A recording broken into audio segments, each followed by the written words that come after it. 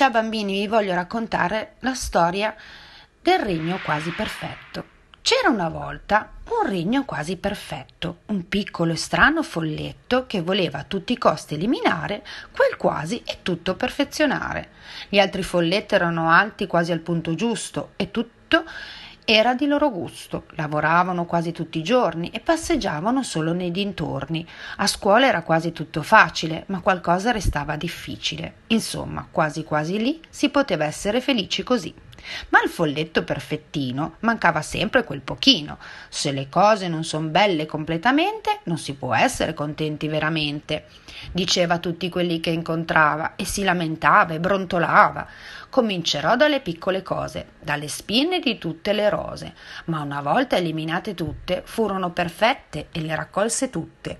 Non ne restò neanche una per inebriare il profumo la luna. Il folletto pensò allora di lasciar stare la natura, che forse sa meglio di lui la perfezione pura.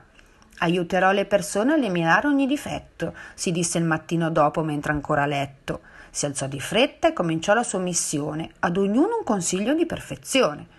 Il chiacchierone stava più zitto, lo smemorato aveva tutto scritto, il timido divenne esuberante e ne disse davvero tante. Il sognatore scese dalle nuvole, lo scontroso divenne socievole. La sera giungeva piano e il folletto si sentiva strano.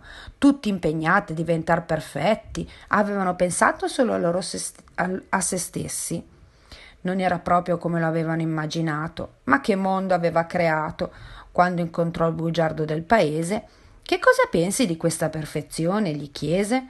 Mi ha consigliato di eliminare il mio difetto, perché il vero deve essere sempre detto. Ora vorresti che ti dicessi che hai ragione a cercare in ogni cosa la perfezione. Ma la verità non è questa. Preferisco un mondo quasi perfetto in cui ognuno si senta amato lo stesso, nonostante i propri difetti, purché tutti si rispetti. Spero vi sia piaciuta. Ciao! Un bacione.